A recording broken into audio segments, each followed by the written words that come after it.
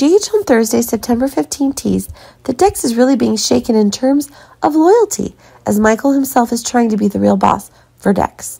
Today we're noticing that a big scuffle has taken place in the very special relationship between Dex and Michael. Michael is trying to dictate what Dex thinks is too dangerous, and it's affecting the whole scheme that Dex and Michael have devised.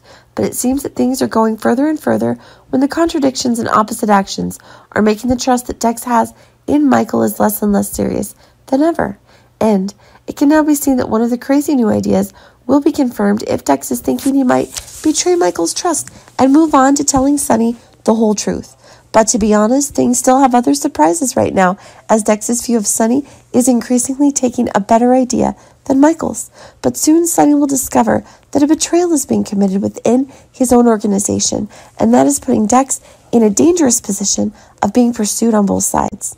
Next, we're seeing a new connection between Cody and Leo, but it seems that this friendship is embracing more elements when Cody is in need of a big step to be with Olivia to achieve a goal that Cody and Selina are achieving. Leo was one of the great ideas to let Cody start the access to the surprises that Olivia herself is having. But it seems that something unexpected is going on when Cody himself is drinking an unpleasant drink that Leo finds is offering Cody. Cody may be poisoned, and that is causing the unexpected things that Olivia herself does. Caring for Cody is an apology for her son's uncontrollable actions. It's true that now things are a bit offbeat, but still follow what Cody herself wants.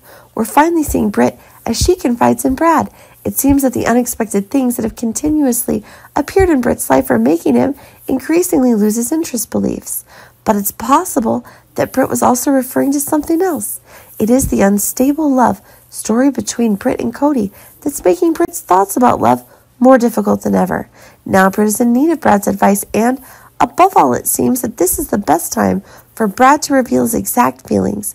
Will Brad's announcements defeat Britt? Let's see.